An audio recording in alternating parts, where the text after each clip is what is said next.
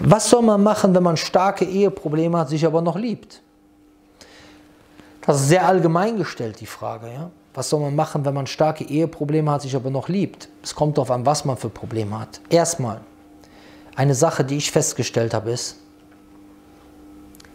erstmal, wenn man sich noch liebt, zeigt das immer, dass es nicht so schlimm sein kann.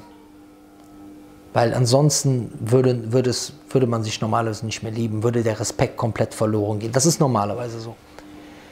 Man sollte um die Ehe kämpfen. Der Scheitan liebt, wenn eine Ehe geschieden wird.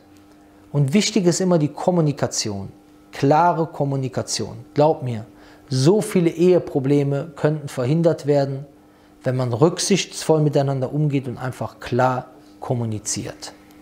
Und viele Probleme in der Ehe könnten aus dem Weg geräumt werden, wenn man Eheprobleme nicht von außen reintragen lässt in die Ehe.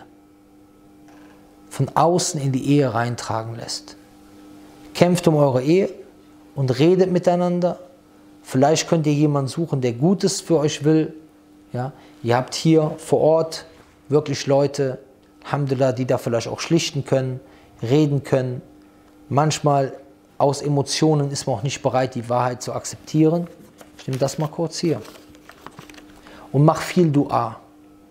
يا ذاكر الأصحاب